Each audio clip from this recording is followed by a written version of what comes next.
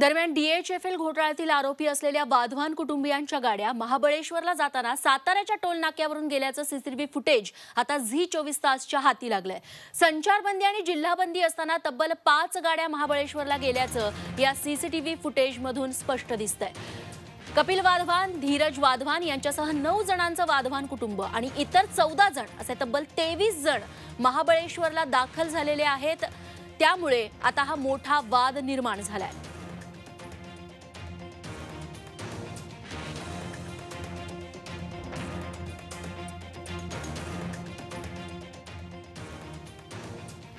आणि याबद्दलच अधिक माहिती देण्यासाठी प्रताप नाईक आता आपल्यासोबत आहेत.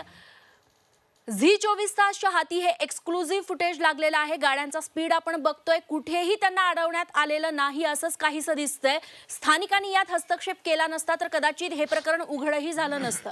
काय अधिक सांगाल? नक्कीच आपण पाहतोय की मुंबईवरनं खंडाळा खंडाळ्यावरनं महाबळेश्वर अशा प्रकारे व्ही आय पी पद्धतीने हे वाधवान जे कुटुंबीय आहेत तेवीस जणांचं ते महाबळेश्वर पोहोचलं. हो. खरं तर महाबळेश्वर नगरपालिकेच्या या सगळ्या लोकांना ही बाब निदर्शनास आली नसती तर कदाचित अशा प्रकारे व्ही आय पी ट्रीटमेंट देऊन गुप्तांचं पत्र घेऊन हे वाधवान कुटुंबीय सर्व महाबळेश्वरमध्ये येऊन मस्त मजा करतायत हे अजिबात समोर आलं नसतं. पण नगरपालिकेच्या कर्मचाऱ्यांच्या सतर्कतेमुळे ही बाब उजेडात आली. आणि त्याच्यानंतर खऱ्या अर्थानं ही सगळी कारवाई सुरू झालेली आहे. सध्या जे वाधवान कुटुंबीय आहेत तेवीस जण जे आहेत त्यांना पाचगणीमधल्या याच शाळेमध्ये इन्स्टिट्यूशनल क्वारंटाईन करण्यात आलेलं आहे. सेंट झेवियर्स ही शाळा आहे. एकूणच आपण पाहतोय की अतिशय संतापजनक असा सगळा प्रकार आहे. भारताच्या एका दिशेला आपल्याला आपण पाहिले की कशा प्रकारे पाच पाचशे सहा सहाशे किलोमीटर लोक चालत जात होते. कारण. त्या ठिकाणी संचारबंदी होती त्यानंतर लॉकडाऊन होतं. त्यामुळं त्या लोकांना अक्षरशः त्रास सहन करत जावं लागलं. आणि दुसरीकडं. गृह सचिवांचं पत्र घेऊन व्हीआयपी ट्रीटमेंट देऊन ही लोक या ठिकाणी आल्याचं आपल्याला पाहायला मिळालंय. आपण एकूण पाहतो की वाधवान कुटुंब जे आहे ते महाबळेश्वरमध्ये आलेशान जागेमध्ये आलेशान बिल्डिंगमध्ये राहणार होतं. आणि त्या ठिकाणी तिथून प्रशासनानं त्यांना पाचगणी मधल्या या शाळेमध्ये आणलेलं आहे. पण पाचगणी मधल्या लोकांचा सुद्धा या वाधवान कुटुंबांना विरोध आहे. का नेमका विरोध आहे? तुषार तपासे आपला स्थानिक प्रतिनिधी आपण त्याला विचारूयात. हो. आम्हाला सांग की नेमकं पाचगणीकरांचा त्यांना विरोध का आहे?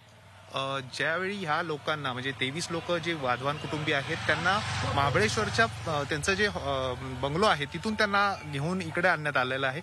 तर या लोकांचं म्हणणं आहे की जर होम क्वारंटाईन करायचं होतं तर त्या लोकांना त्याच ठिकाणी ठेवायला हवं होतं. त्यांना पा- कशासाठी आणलंय? यातला जर कोणी भविष्यात पॉझिटिव्ह निघाला तर आमच्या जीवितात सुद्धा धोका होऊ शकतो असं अशी परिस्थिती या लोकांनी बोलून दाखवलेली आहे. आणि त्यामुळेच एक भीतीचं वातावरण त्या लोकांमध्ये आता निर्माण झालेलं आहे. आपण पाहिलं की अ, पाचगणीतल्या लोकांचा वाधवान कुटुंबियांना विरोध आहे एकतर भ्रष्टाचाराच्या प्रकरणातले हे सर्व जे दोन आरोपी आहेत महत्त्वाचे हो. त्यांना या पद्धतीची व्हीआयपी ट्रीटमेंट का दिली जाते अशा प्रकारचा सुद्धा सवाल उपस्थित केला जातो आणि दुसरीकडे असं आहे की अतिशय संतापजनक अशा प्रतिक्रिया आहेत हो. कशा पद्धतीनं आपण एकीकडचा भारत पाहिलेला आहे की ज्या ठिकाणी अनेक मैल अनेक किलोमीटर लोक चालत जातात आणि हो. दुसरीकडं कुठल्याही टोल नाक्यावर असेल किंवा कुठंही चेकपोस्ट नाक्यावर पोलीस तपास न करता या गाड्या झपाझप सोडल्या जात आहेत. याच्या पाठीमागं कोण आहे? त्यांचा शोध घेण्याची गरज निर्माण झालेली आहे. निश्चित. तेव्हा सर्वसामान्य लाठ्यांचा प्रसाद दिला जातो. मात्र वी आय पी लोकांना पास दिला जातो हे आपण बघितलेलंच आहे.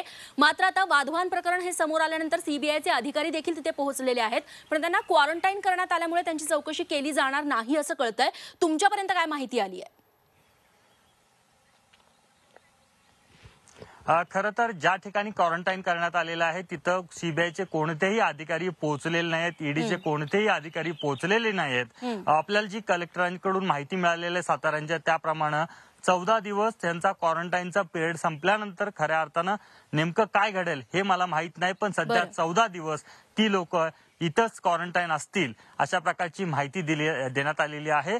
पण सीबीआयचे कोणतेही अधिकारी साताऱ्यात या ठिकाणी पोहोचलेले नाहीत अशा प्रकारे अशा प्रकारे माहिती जी आहे ती प्रशासनाने दिलेली आहे. या संदर्भात साताऱ्याच्या एसपींना सुद्धा विचारण्यात आलं पण त्यांनी देखील या बाबतीत फक्त गृहमंत्रीच बोलू शकतील अशा प्रकारचं मत खाजगीमध्ये व्यक्त केलेलं आहे. याच्यावर बोलायला नकार दिलेला आहे.